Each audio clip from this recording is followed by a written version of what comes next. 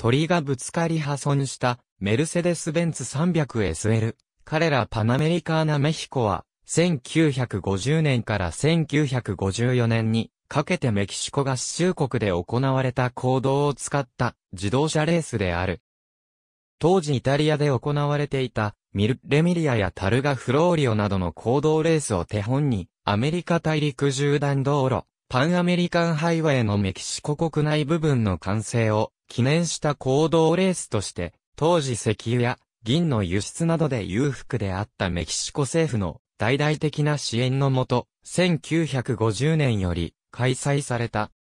レースはアメリカとの国境付近からスタートし、グアテマラ国境付近までを縦断する総延長 3113km のルートを5日間かけて走破し、各ステージの合計タイムで最終成績が決まった。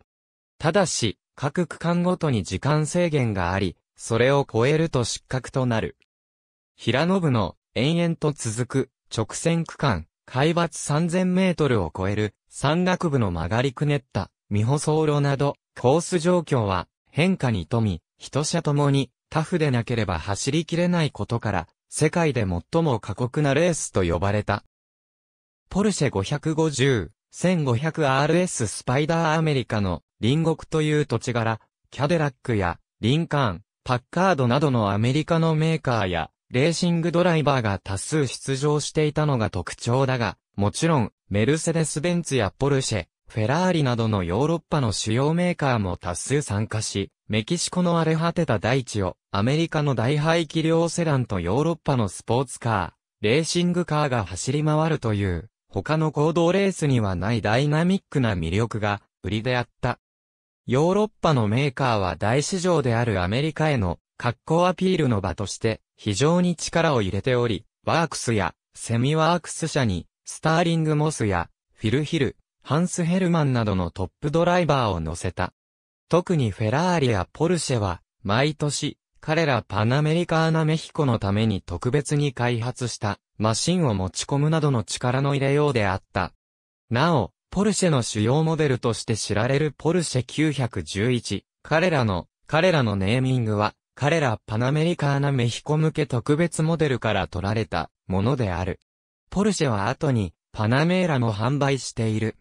メルセデスはアメリカのディーラーからの提案を受けて、1952年大会で優勝した 300SL を市販モデルとして発売した。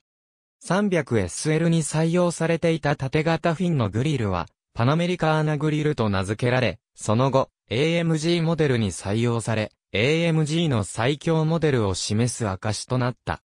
また、アメリカのバックヤードビルダーが部品をかき集め、独自に組み立てた、カバッロ・デ・ヒエロなどのワンオフ車が多数出場しているのも、特徴の一つであった。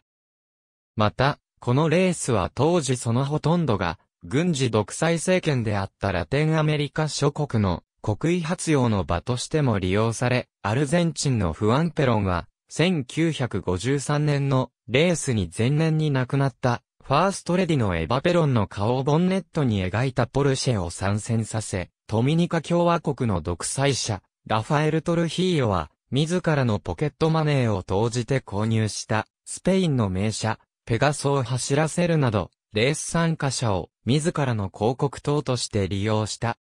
1953年には、この年創設された、スポーツカー世界選手権のカレンダーに入り、1953年1954年ともシリーズ最終戦として開催された。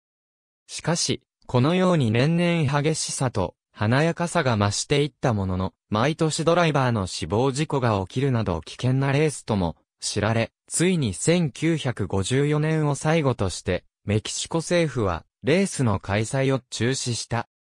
大会が打ち切られた原因はレースそのものの危険性の他に、翌年1955年のルマン24時間レースで発生した82人が死亡する大惨事による影響も一因となっている。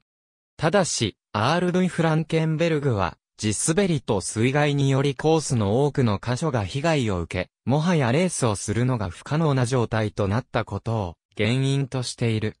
他の著名な行動レース同様、当時の出走者を中心とした復刻版がたびたび行われている。ありがとうございます。